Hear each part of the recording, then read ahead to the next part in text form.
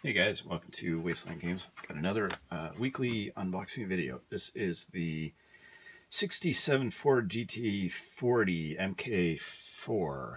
Uh, basically, I picked this up along with a bunch of other vehicles that I'm just adding to my collection, and uh, I like racing vehicles in general, especially ones that are done by, you know, Shelby, or I actually like uh, F1 cars, you know, things like that uh, in general. But I do like a lot of more sport uh, racing cars in general.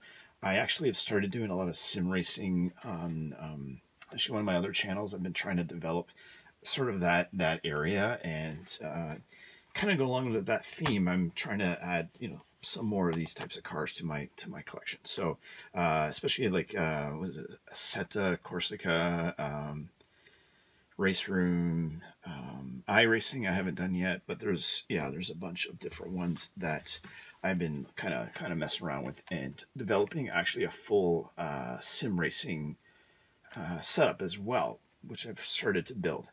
Anyways, this is number yeah number 58 of 250, um, and it's again it's a 67 Ford.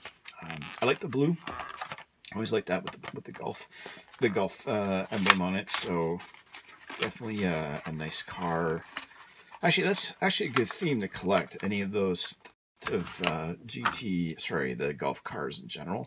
Um, now, now that I think about it, I wouldn't mind actually trying to do that. Try to have a, like, a little collection of just this type of painted vehicle uh, in general. But this one, uh, this one came out in uh, well, it's casted here. It says 2020, so it's fairly recent as far as I know.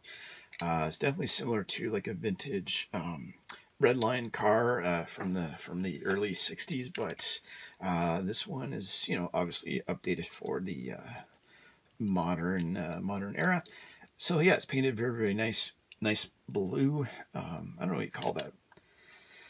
Pale blue or something. I don't know. I don't know what you would call that color, but um, definitely nicely done. Tampos are, are pretty good. Um, Again, I never really look for stuff like that too often. I'm not too, too picky, but I, I think if I was, I would you know, kind of be a little bit more mindful when I'm shopping around for cars. But yeah, it looks pretty, pretty darn good right out of the package, you know, as a, as a, as a toy, as it's really and truly meant to be. So um, I actually have done some customs with a similar car in the past.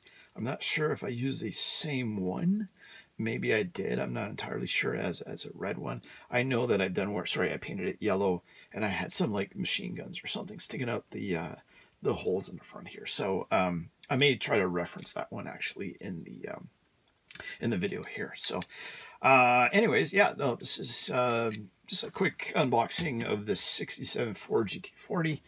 Uh, hopefully you guys uh, like the look of the car itself and add it to your collection. But uh, stay tuned for more.